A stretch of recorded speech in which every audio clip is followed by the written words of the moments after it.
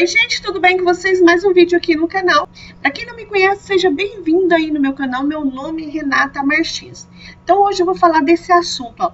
Preciso trocar o meu e-mail ou preciso trocar o número do meu telefone no cadastro do Caixa Tem.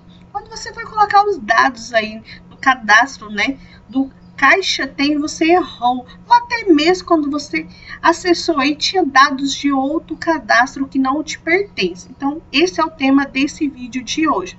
Mas antes de começar esse vídeo, se você não é inscrito aí no meu canal, já se inscreva aí. Ative o sininho em todas para receber todas as notificações desse conteúdo e de vários outros que eu estou trazendo por aqui. Então vamos lá falar, né, desse assunto que é uma das perguntas que eu mais tenho aqui no meu canal.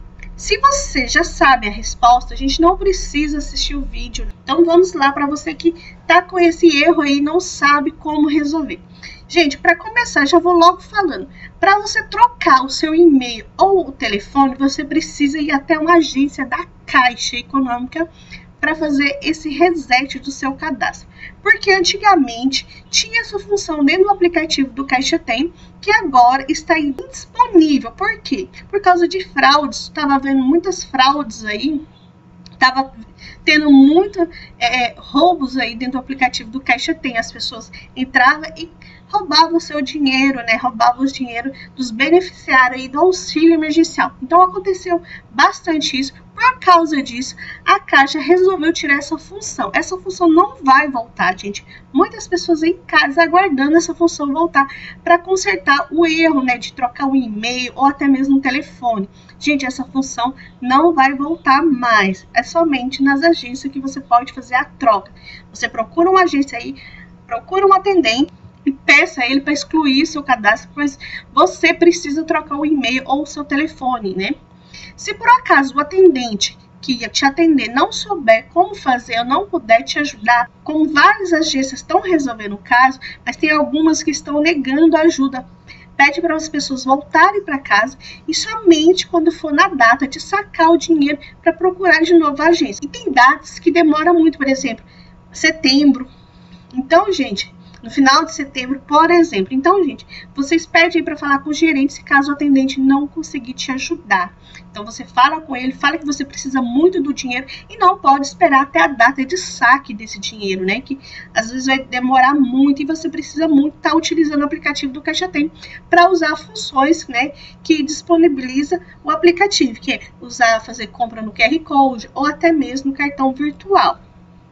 Se por acaso uma dessa agência ou o gerente mesmo te negar ajuda, gente, você pega o endereço da caixa de onde você foi, liga na ouvidoria da caixa, faz uma reclamação daquela agência, que aquela agência está negando ajuda. Pois agora a caixa não paga né, diretamente nas contas. Primeiro tem que acessar o aplicativo do Caixa Tem. Então, eles têm que dar assistência sim. Então, se você tiver com alguma dúvida ainda sobre esse vídeo, deixa aqui nos comentários. Lembrando, gente, que eu estou dando preferência para quem é inscrito do canal. Só uma observação, gente, que eu quero fazer. Você que mandar comentário aí para mim, não deixa o número de telefone. Eu sei que você precisa muito de ajuda. Caso eu não te responda, gente, naquele momento, você tenta enviar novamente mensagem, mas não deixa o número de telefone, porque assim várias pessoas podem ter o acesso também ao seu comentário, pegar seu número de telefone e usar de má fé, até te ligando aí, né, te oferecendo ajuda, mas na verdade com má fé. Então tome muito cuidado não deixe. Gente, eu costumo sempre responder os, os comentários. Quando eu posto um vídeo, eu sempre estou naquele momento respondendo logo em seguida os comentários. Então, por isso que é importante você se inscrever aqui no canal e ativar o, o sininho de todas. Porque assim, quando eu for postar um vídeo, você vai receber a notificação que eu estou postando vídeo. E você pode vir me mandar as perguntas logo em seguida. São as vezes que eu mais estou presente no canal respondendo né, os comentários para dar atenção para as pessoas que estão assistindo os vídeos. Outro recadinho muito importante, se por acaso alguém te procurar aí através do WhatsApp informar que é um atendente da Caixa ou até mesmo um gerente da Caixa está é, precisa de alguns dados seu para poder desbloquear o seu telefone, é, desbloquear o aplicativo do Caixa Tem para você usar, para trocar um número de telefone para o seu e-mail, gente, não caia nessa, isso é golpe, tá?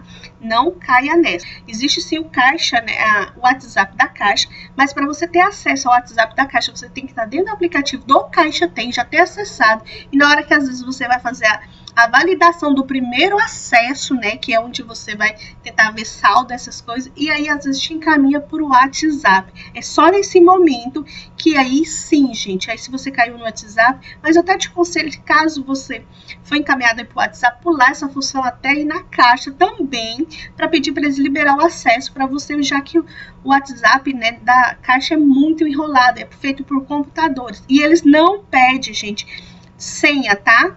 Eles não pedem. Então toma muito cuidado com isso. Alguém falar, ah, eu sou gerente do seu telefone, eu vou te auxiliar, eu vou desbloquear a sua conta, eu vou te ajudar a trocar o e-mail. Não caia nessa, tá? Isso é golpe, tá? Procura sim uma agência. Lembrando, gente, que é importante sempre você levar um documento oficial com foto e o CPF. Leva também uma Xerox. Caso precisa, né, de uma Xerox, você leva uma Xerox do documento que você está levando frente e verso, tá? É isso, gente. Até o próximo vídeo. Tchau, tchau.